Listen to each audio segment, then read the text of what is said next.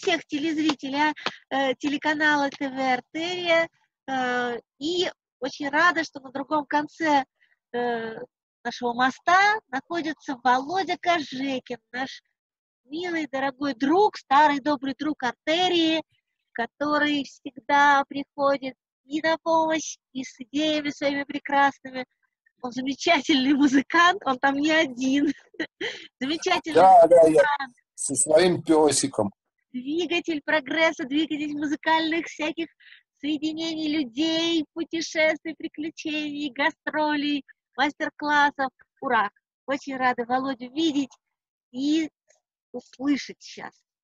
Володечка, да. Да, да, по-моему, хорошая связь в данный момент. Да, связь неплохая.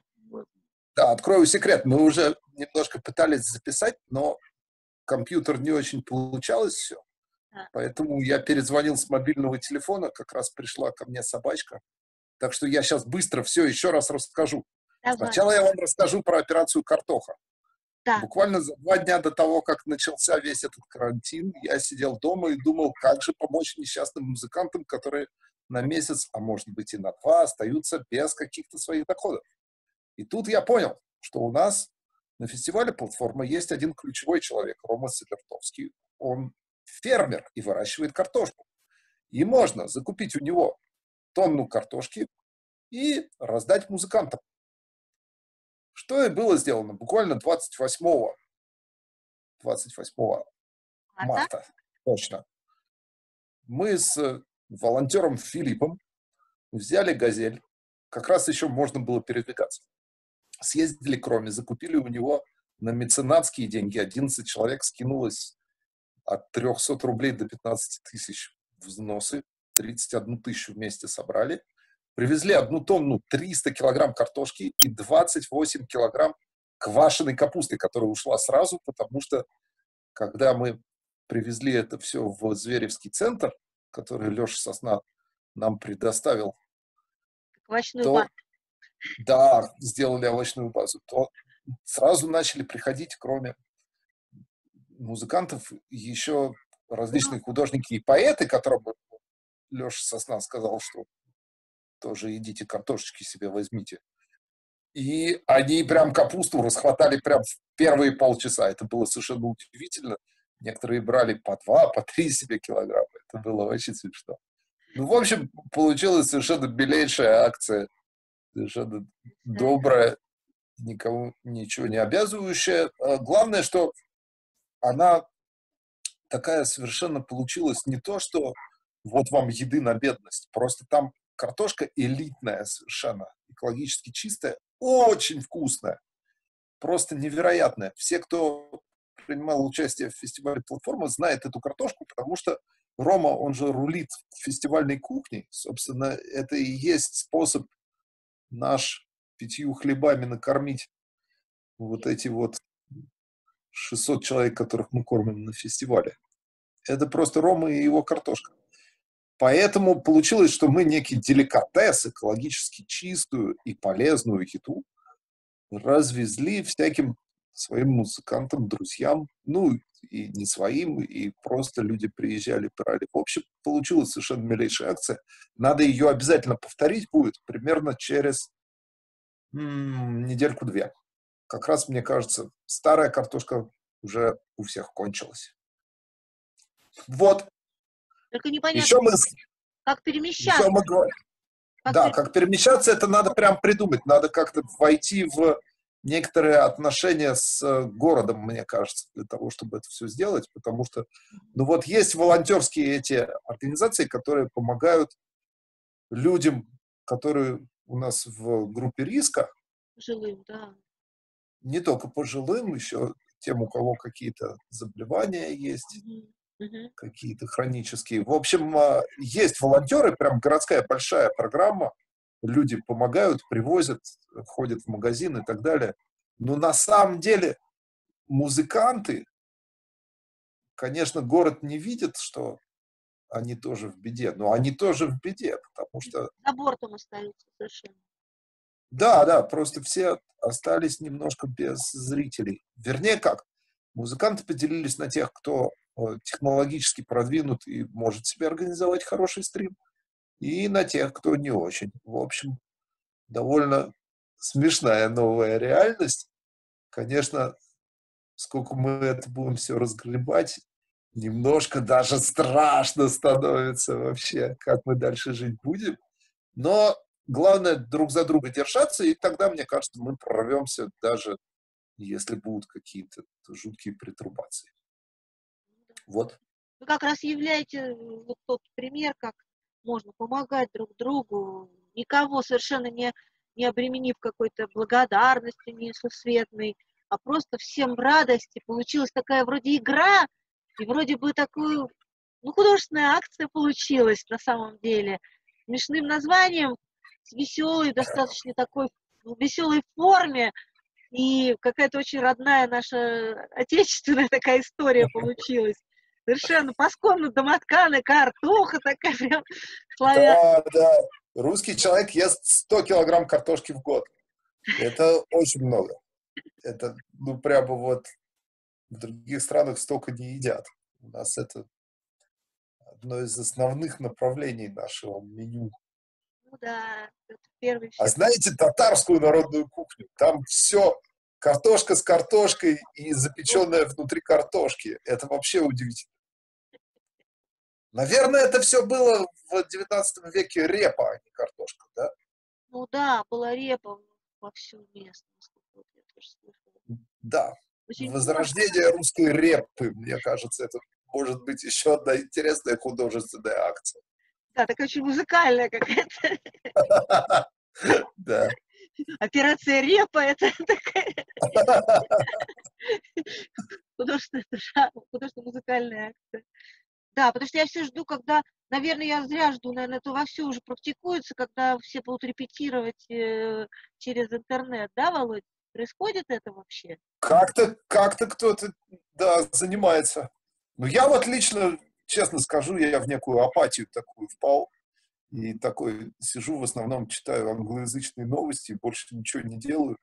Жутко переживаю. В общем, у меня такой месяц жутких каких-то переживаний и размышлений. Единственное, что вот удалось прям сделать совершенно правильное и хорошее, это я самоизолировался на отцовской даче, а у него дача стоит в лесу, и прямо вокруг дома растут в огромном количестве весенние грибы строчки гигантские. И я их собрал и съел. Вот это самое лучшее, что я сделал за этот месяц. Утрой. Просто счастье какое-то. Мы еще березовым соком баловались немножко, так понемногу. Слушайте, по поводу березового сока. Да. Мы когда проводили операцию «Картоха», а, мне приехало вместе со мной в, на мою кухоньку 6 литров сока. Э, березового. И я подумал, а что будет, если его варить, чтобы из трех литров получилось 50 грамм? Получится ли березовый сироп? Вот как есть кленовый сироп, получится ли березовый? Так. Вы знаете, получается. Это совершенно удивительный напиток, какой-то совершенно сказочный, легендарный, с удивительными вкусовыми качествами. Ну, в общем, березовый сироп – это продукт будущего, мне кажется. Экстракт русской души. Да, у него очень странный немножко вкус. Он прямо, ты пьешь березу, прям такой деревянный запах и вкус. Но это при этом очень сладко, то есть это прям сироп, как кленовый сироп можно уварить до состояния прямо вот как мед. Скажите, до вас дошел такой э, наш прекрасный собрат, как э, Лапенко. Смотрите Лапенко? Нет? Нет? Не добрался? Нет еще. Нет, Нет еще. Наберется обязательно, потому что такой артист, э, совершенно народный артист, современный. Ну, как Бормотов примерно? Замечательно совершенно. Он снимает ролики, он полностью в интернете самореализуется. Снимает Нина, ролики. знаете Бормотова? Сашу Бормотова? Не знаю, нет. А он что делает? Это прям самый настоящий живой скоморох. Он вообще э, главный электрик на одном уральском заводе. но у него есть вот такое удивительное хобби. Мне кажется, он мог бы бросить свой завод, но он просто не делает это из каких-то экзистенциальных причин. В общем, а, он сейчас очень прославился в интернете.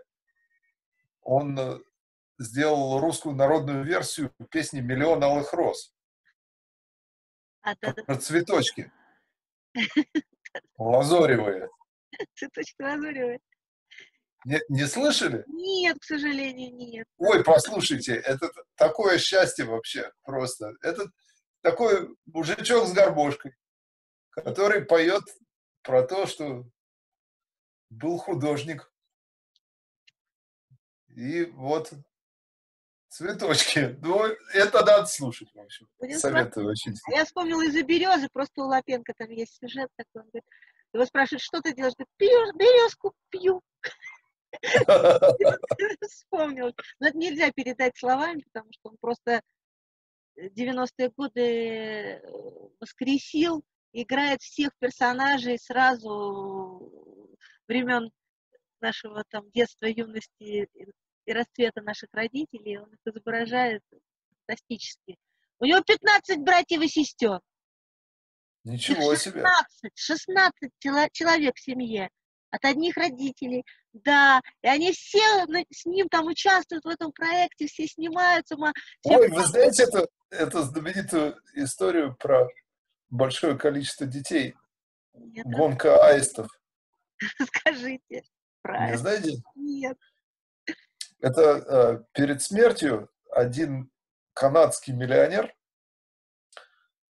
объявил, что ну, как бы всю жизнь зарабатывал деньги, не обзавелся семьей, и э, все заработанные деньги он завещает очень смешно. То есть там завещание было настолько прекрасно, что его читали как произведение юмористическое. То есть э, там два самых знаменитых в этом городе, где он жил, врага, ненавидевших друг друга, получили в совместное пользование роскошную дачу где-то на море, с условием, что только вместе могут на ней быть. Ну и так далее, и так далее. То есть, как бы каждому подарил то, от чего странно отказаться, но при этом для того, чтобы этим пользоваться, надо каким-то образом усмирить свою гордыню и поступиться некими нелепыми принципами. Так вот, основную часть своих денег он сказал, что у меня э, некий должок перед Богом, что детей у меня нет. Поэтому той семье, которая в браке за следующие 10 лет родит большее количество детей, придут огромные деньги. Просто, ну, какие-то там страшные миллионы. Ну, в общем, у кого в первый год в городе тройня родилась, все вступили в эту гонку. То есть он реально устроил такой всплеск рождаемости в городе, и победила в итоге три семьи, которые за 10 лет смогли родить по 11 детей. На равных прямо очень много заработали денег. Прям реальная история. В общем, на 10 лет развлекуху устроил после своей смерти богатый человек. Называлась «Великая гонка аистов». Великая гонка Здорово, здорово. Хорошая весенняя история такая. Да, да, совершенно такая милая, добрая. Нет, ну там, я говорю, там можно читать очень долго что он еще кому подарил. Да. Володя, а расскажите нам, вот вы сказали об этом, что по-разному очень подкованы, подготовлены музыканты. Расскажите как бы о крайностях самых интересных, кто, на ваш взгляд, очень огорчительный. Крайность, мне и наоборот, после операции «Картоха» позвонил Михаил Петрович Соколов, а, аксакал губно-гармонического движения. Угу. Просто, ну, выразить респект нашим волонтерам-меценатам за операцию «Картоха». А я ему начал говорить, так, э, Михаил Петрович, где ваши стримы-то, где ваши концерты онлайн? А он говорит, у меня вообще ни компьютера, ни смартфона, телефон кнопочный. Вот это некая крайность в сторону нетехнологичности. Конечно, есть люди, которые не могут это все освоить. А с другой стороны, вот мне кажется, то, что Илюха Небослов делает с этими ежедневными стримами, это прямо, прямо будущее. Ну и, конечно, телевидение «Артерия» – прекрасный проект просто. Вы молодцы. Ну, СБТ... Надо вообще сделать некий центр помощи консультативной по поводу всех этих стримов. Надо вообще попробовать какую-то самоорганизацию устроить вот нашего смешного музыкального цеха, потому что, возможно, довольно грустные и тяжелые времена еще нас ждут впереди, потому что карантин сам – это все на самом деле фигня. Вот то, что происходит там с экономикой, вот это чудеса какие-то. Мне кажется, сейчас мир, как Папа Римский сейчас написал письме волонтерам, а, нуждается в неком дауншифтинге. Сейчас вот этот дауншифтинг произойдет. Мне кажется, может довольно серьезно сократиться вообще потребление в мире. И в связи с вот этой всей эпидемией, и вообще системно человечество к какой-то такой точке подошло интересной, когда понятно, что то, как было, продолжаться не может. Потому что тупик некий в развитии. Просто вот эта гонка производства, гонка потребления, она подразумевает, что ресурсы планеты бесконечны, а они же не бесконечны. Вот. И Чунечка тоже так думает. Вот это мой главный пропуск во время карантина. Полное имя Чурчкела. Совершенно прекрасная собака. Хороший. Ниночка, мне кажется, я вам все рассказал. Володечка, если мы будем с вами дальше продолжать, то мы можем бесконечно. А, а вы нам ничего не поете, не сыграете ли, Володечка? Я не могу, потому что если я сейчас начну играть, то мы в основном будем слышать Чунечку. Она начинает петь очень громко. Это же здорово! Хорошо, давайте я продемонстрирую. В принципе, 11 еще нет. Возможно, соседи переживут это дело. А, сейчас я попрошу принести мне губную гармошку. Машиночку. Принесешь любую губную гармошку? А, вон просто на полке лежит в комнате. Сейчас мы буквально 10 секунд вам покажем, как у нас Чунечка поет. И на этом мне кажется. Это будет самый можно... крутой стрим, потому что такими собаками я еще не видела ни одного, по-моему. Спасибо. Вы вчера мне говорили, СБТГ наши друзья очень красиво делают, да, Володя, стримы? Да, да, они придумали очень хороший формат стрима. Расскажите. Когда по Zoom-конференции очень много зрителей, очень качественное видео, звук, базовая станция, сразу монтаж. В общем, прям как телевидение. На самом деле СБТГ молодцы. Леша Туфанов умница. Итак, ну что, поем.